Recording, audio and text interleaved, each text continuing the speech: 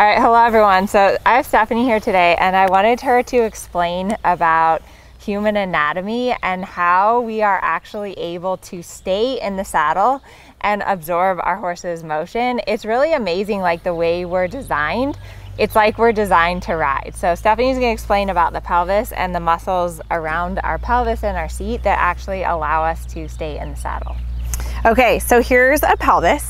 And um, if you can see here, this is the top part of your thigh bone here. So it doesn't show the whole thigh bone. Um, I'm gonna show you guys a couple things that are extremely important for riders um, and something that we focus on a lot. So here's your seat bones. So your seat bones are actually in the front side of your pelvis. And those attached to your hamstring muscles here um, and then other hip muscles and then your your hip flexors actually come from up here like this and then come from here and then go down. But what I really want to talk to you guys about is um, some of the main hip muscles that we use to get our leg on the horse, what really pulls those seat bones down into the saddle. So the main one that you hear Amelia and I talking about all the time is your glute med muscle. So that muscle lies on the side of the pelvis. I'm gonna try and show you this way. So it kind of attaches here and then it comes up and around and attaches to your iliac crest here.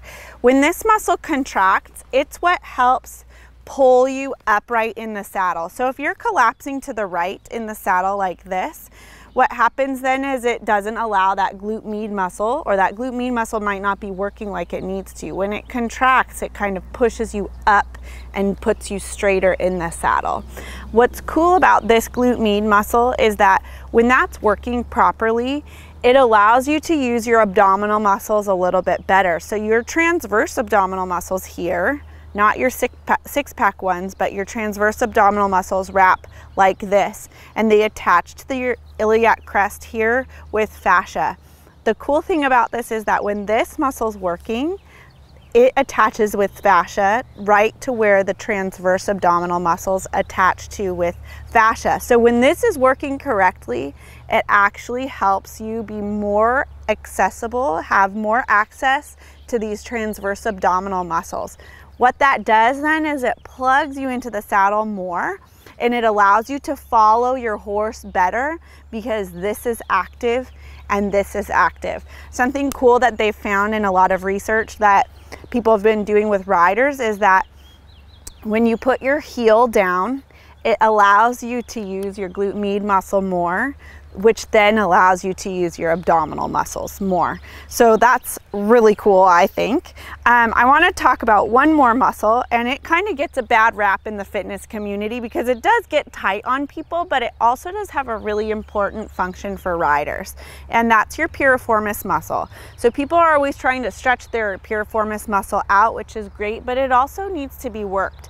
So that attaches from here and then it comes across here and goes underneath the tailbone or the sacrum right here.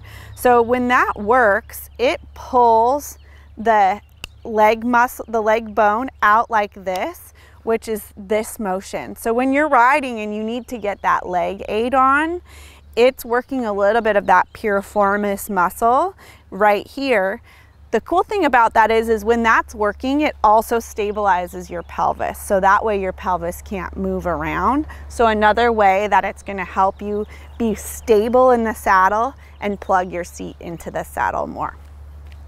Awesome. That's so cool. I think that it's like really interesting how our if we use the correct muscles, you're able to stay stable in the saddle. And I know a lot of times people like tighten their glute max or use too much their six packs abs and that makes it not good. So yep. those are the muscles you should be using when you're riding. Yep. Cool. All right, the end.